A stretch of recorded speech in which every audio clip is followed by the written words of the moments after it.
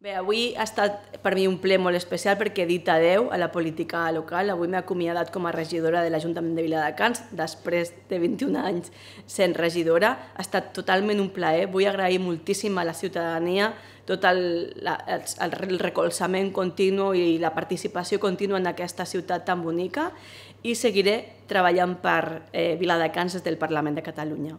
Aquest ple hem impulsat un acord unànime pel qual s'incrementarà l'oferta de lavabos públics per a la ciutadania, pensant en les persones amb malalties o col·lectius especials com la gent gran o els infants.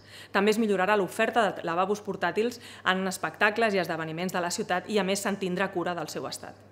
Per últim, hem votat en contra de les ordenances fiscals, atès que, malgrat baixen una mica l'IBI, s'incrementa la pressió fiscal a la ciutadania a través de la implementació de la taxa de residus.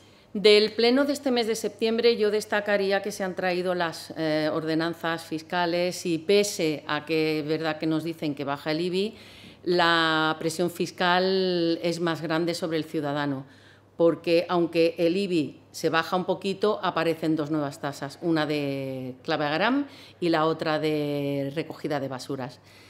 Espero que mm, el equipo de gobierno se lo piense mejor. Seguiremos apoyando a nuestros vecinos y trabajadores. Estamos en contra de todo lo que atente contra la libertad y privacidad de cada ciudadano de Viladecans. En nuestra propuesta de mejora de los parques ante su deterioro, el equipo de gobierno no acepta el problema. Desde Vos Viladecans seguiremos luchando por una mejora real de nuestra ciudad. Com sabeu, Viladecans és una ciutat defensora dels drets humans.